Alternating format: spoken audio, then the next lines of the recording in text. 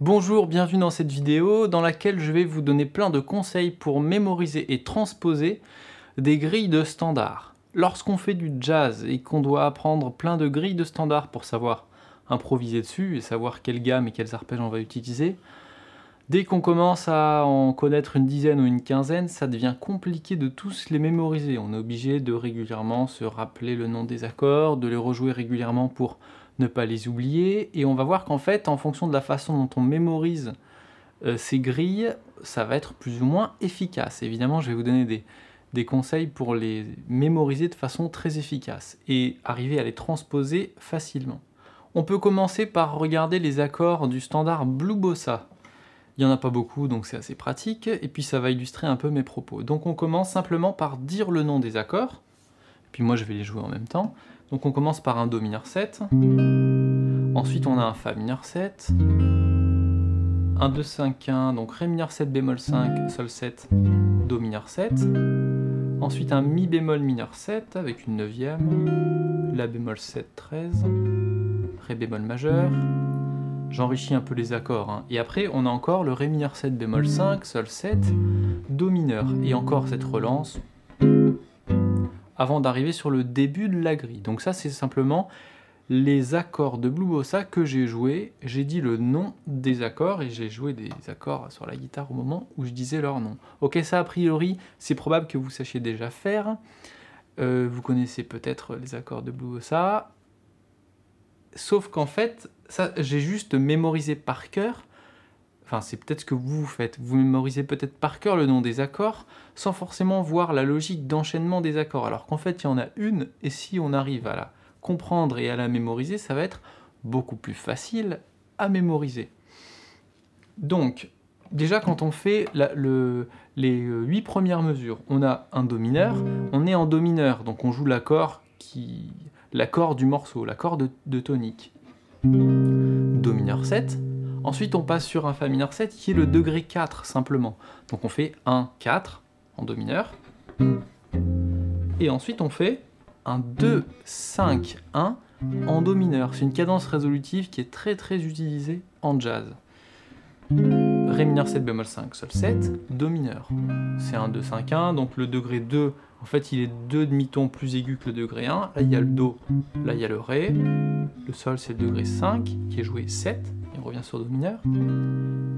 Et ensuite, on a de nouveau un 2, 5, 1, mais en majeur, en Ré bémol majeur. Mi bémol mineur 7, La bémol 7, Ré bémol maj 7, c'est un 2, 5, 1 en Ré bémol majeur. Si vous êtes perdu quand je parle de 2, 5, 1, sachez qu'il y a des vidéos, j'ai fait des vidéos et des pages même sur mon site Guitare Improvisation, dans lesquelles j'explique un peu comment euh, reconnaître comment détecter les 2, 5, 1 dans les grilles de standard. Il y a même deux vidéos qui sont spécialement faites, des vidéos d'une heure, qui sont spécialement faites, euh, consacrées à ces sujets, donc allez les voir si vraiment ça, vous êtes perdu. Donc on était sur le 2-5-1 en Ré bémol majeur. Et ensuite on revient sur le Do mineur avec un 2-5-1 en Do mineur. Et une petite relance 2-5 à la fin. Donc là on commence à comprendre un petit peu mieux la logique d'enchaînement, d'accord? De Blue Bossa, on est en Do mineur pendant 8 mesures. On fait un 1, 4, 2, 5, 1. Ensuite, on monte d'un demi-ton et on va dans la tonalité majeure. Ré bémol majeur. Et on fait un 2, 5, 1 dans cette tonalité. Puis on revient en Do mineur et on fait un 2, 5, 1 avec une petite relance rapide de 5. Pour voir si on a bien mémorisé ça et bien compris cette logique, on va transposer le morceau. Transposons-le en Sol mineur par exemple. Donc on va jouer Blue Bossa en Sol mineur. Donc ça va faire ça va faire. Commence donc par le degré 1, l'accord de tonique Sol mineur 7. On va vers son degré 4, Do mineur. On fait ensuite un 2-5-1 dans la tonalité, donc Sol. Ça fait un La mineur 7 bémol 5, Ré 7, Sol mineur. Ensuite, on fait un 2-5-1 dans la tonalité majeure un demi-ton au-dessus, donc en La bémol majeur, puisqu'on était en Sol.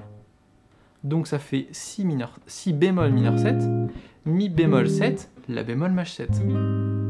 Et on refait le 2, 5, 1 en sol mineur avec une petite relance pour repartir. Donc là, on vient de transposer Blue Bossa en sol mineur. Je l'ai fait assez rapidement en supposant que vous connaissiez euh, le degré 4 de sol mineur par exemple. Ça va peut-être vous demander du temps. Sol, La, Si, Do, Ré. Alors ça c'est une méthode, compter les notes. C'est une méthode qui n'est pas très rigoureuse si vous maîtrisez pas les tons et les demi-tons qu'il y a dans la gamme. Euh, le plus facile à la guitare, c'est de, en fait, de mémoriser les, mouvements de position. Quand j'ai un degré 1 qui est avec cette position, le degré 4 il est là. Et après je sais que dans la gamme de sol mineur, le degré 4 il est mineur 7, donc je joue mineur 7. Voilà. Et si j'avais, disons, un degré 1 ici, son degré 4 il est ici. C'est ce que j'ai fait pour Blue Bossa. Euh, pour euh, la tonalité de Do mineur, je veux dire. Do mineur 7, Fa mineur 7, il est là. C'est degré 4 de Do mineur. Donc ça, c'est un peu la difficulté du truc de bien savoir trouver, ah, c'est le degré 4, le degré 6, il faut calculer les notes, essayer de voir. Euh, ça prend un petit peu de temps, mais c'est extrêmement pratique puisque vous mémoriserez beaucoup plus efficacement les grilles et vous serez capable de les transposer. Pour conclure ces explications, on peut très bien résumer la grille de Blue Bossa en quelques mots. On peut dire que Blue Bossa c'est en Do mineur et qu'on a un 1, 4, 2, 5, 1 en Do mineur. Ensuite ça module un demi-ton au-dessus. On a un 2, 5, 1 majeur et on revient dans la tonalité initiale avec un 2, 5, 1. Une petite relance à la fin. Quand on est entre musiciens, qu'on veut jouer un morceau et qu'il y en a un qui ne connaît pas la grille, c'est comme ça qu'on dit la grille. Et c'est comme ça qu'on la pense. Moi, Blue Bossa, c'est comme ça que je la mémorise. Donc si on me dit de la jouer en si bémol mineur, je vais pas dire Ouah, c'est quoi les accords? Je vais me dire ok, si bémol mineur, je vais vite retrouver les degrés, tout ça, parce que j'ai la structure de la grille et la logique d'enchaînement d'accords, les cadences en fait. Si vous vous obligez à penser les grilles de cette manière-là, en fait, on pense les grilles de façon relative et pas absolue. J'essaie pas de retenir ah c'est mi bémol machette ou la bémol machette. Non, je me dis c'est le degré 1, c'est le degré 4. Je pense les rôles des accords. Donc j'ai une, analyse et une mémorisation de la grille qui est relative. Si vous faites ça, vous allez mémoriser les standards beaucoup plus facilement et en plus de ça, vous allez avec le temps vous habituer à entendre les cadences, à entendre les mouvements d'accords euh, est-ce qu'un accord il monte d'un demi-ton, il monte de deux tons, il est mineur 7, tout ça, vous allez le percevoir beaucoup plus facilement et le jour où vous devrez jouer sur une grille que vous ne connaissez pas, au bout d'une grille ou deux grilles, vous aurez la grille dans l'oreille parce que vous aurez vu le premier accord et après l'enchaînement de tous les accords, vous les aurez dans l'oreille. Il y a d'ailleurs une page de mon site qui s'intitule Entendre les cadences dans laquelle je donne pas mal de conseils pour euh, justement entendre ces mouvements d'accords, ces cadences. Si vous avez bien compris mes propos dans cette vidéo, sortez un stylo parce que je vais vous donner un exercice à faire. On va prendre la grille de What is This Called Love, qui est un standard avec pas beaucoup d'accords aussi, et assez facile à analyser. Euh, c'est un standard qui est souvent joué en Do majeur. Et ce qu'il va falloir faire, c'est le transposer en La bémol majeur. Donc vous avez la grille du standard qui est affichée, et qui est téléchargeable dans les documents, dans la description de cette vidéo. Il y aura un fichier PDF avec la grille initiale et la grille transposée, donc la correction on pourrait dire. Euh, donc faites cet exercice, vous écrivez la grille, vous l'analysez, où sont les 2 5 1, où sont les c'est quoi le degré 4, tac tac. Et après vous dites OK, on est en la bémol majeur, de combien je monte ou je descends les accords et vous pensez aux cadences pour retrouver les accords. Et vous aurez même d'autres exercices dans ce fameux fichier PDF. J'espère que cette vidéo vous a bien plu, qu'elle répond euh, bien à la question que j'entends souvent qui est comment je peux mémoriser 30 standards différents, c'est vraiment compliqué, j'ai toujours besoin d'avoir la partition sous les yeux, même quand j'improvise. Euh, voilà, en apprenant, en mémorisant les cadences, c'est une façon très efficace de mémoriser plein de standards. Et en fait, tous les musiciens professionnels qui font du jazz, ils pensent de cette manière-là, ils n'ont pas le choix, sinon ils peuvent pas tout mémoriser par cœur en fait.